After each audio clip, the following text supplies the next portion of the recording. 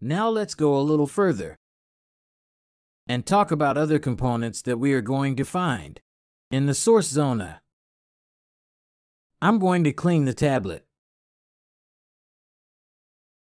And we are also going to talk about other components that are part of the source zone, that are always close to the rectifier, and the filter.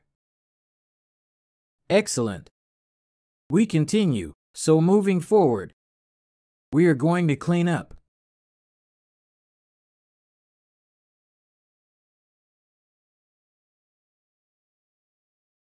Perfect, very good.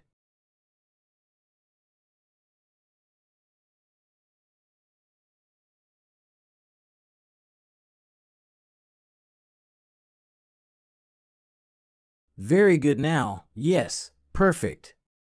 We are missing something here. We have not yet arrived, but now we are going to talk about what we found after the rectifier and the filter. What are we going to find in this area? Good. In many plates you will find here with a component called 78 05. So, you will find this as follows.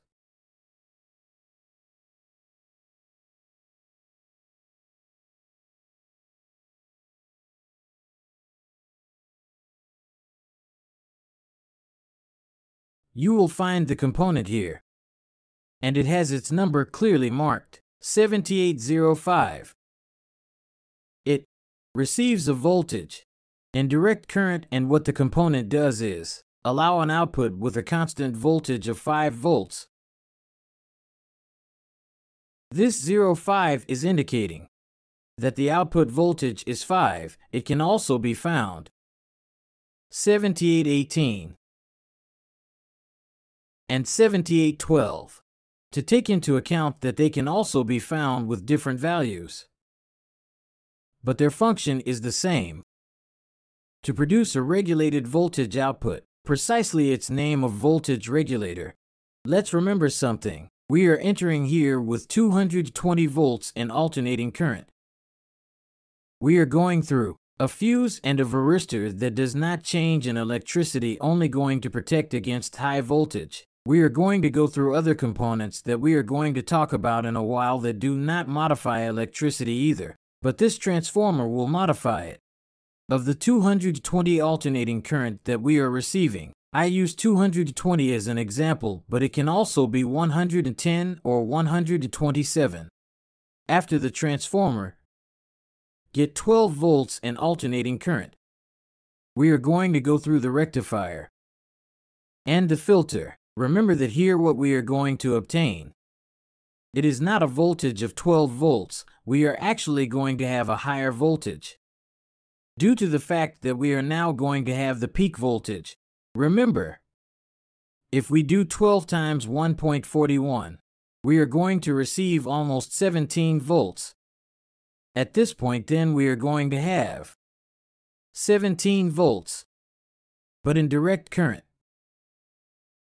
With these 17, positive pole and negative pole, we are going to enter the 7805, whose left terminal is positive input. The one in the middle is negative and the right is positive output. And we are going to leave with 5 volts. Finally, they will also find a small filter capacitor to maintain these 5 volts so that when required it does not drop. They will also find that capacitor. Here, at this point, we are finishing with the source zone. So here we can name all this as a source, and we are going to add one more detail. Conventional source because later we are going to move on to a more complex one. Well, how does this device work? 7805 in the case of this component, 7805, which is what you are seeing here. The brand can be different, it doesn't matter. What is important is the central patent. What this component needs to receive a voltage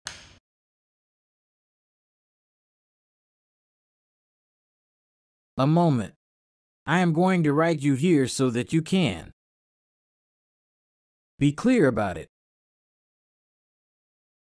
He needs to receive a voltage of between 7 to 37 volts. Whenever he receives this voltage, can produce an output of 5. These are characteristic of the component. In this sample circuit, we are getting 17. It is within the range that the component needs to deliver a constant 5 volts. If we have a 7812, at the input it has to be greater the input has to be from 18 to 50 volts. In this case the component can deliver 12 volts. Regulated. These they are data of the component. In our circuit this 7805 is receiving 17 continuously. Correct to be able to produce 5. I am going to show them with a board.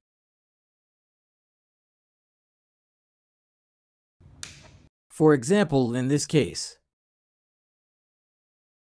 here we have a bridge rectifier, of which two diodes are no longer there. Here we have a filter capacitor. And here we have then the 7805, and we see it clearly 7805. And after the output, here we have the last capacitor. So, these components are the final ones in the source zone. The voltage regulators can be 7805. Or also, they can be found with 7812. And at this very moment, I am going to show you an image of plates that 7812 have. If you give me a moment, I will show them to you so that you can recognize them when I touch them. Pay attention this board has the 7812 and 7805. It has both. On the one hand it is getting 12 regulated volts. And from it, it will feed the 7805 and get 5 regulated. These are older plates of better quality with more protections. Finder their way of working had more components today. They try to get components to that everything is cheaper as everything is true. This is the plate that we were looking at, a fairly old plate, and here it is 7812 and 7812.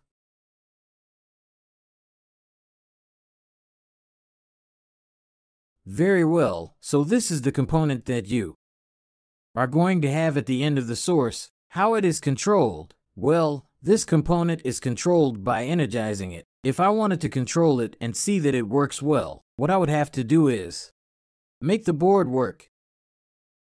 Check between the middle and the left side, which is the input. And if I get between 7 and 30 and 7 in direct current, between the center and the output, I have to have 5 volts constantly. If the board still does not work even if we have 5, try or check the capacitor. It may also be that it is. Devalued worn out burst exploded, and that because of it the 5 volts are not constant. Remember that. Remember that many circuits are powered from these 5 volts, not only the microprocessor, the sensors, fan rotation sensors, and several more circuits.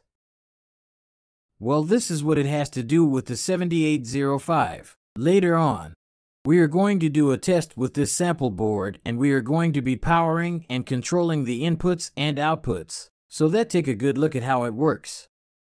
In operation precisely with voltage. But we cannot measure this component. Without voltage, the way to measure and control is by feeding it because it is a circuit within it, it is not just a component. So far we have talked about voltage regulator.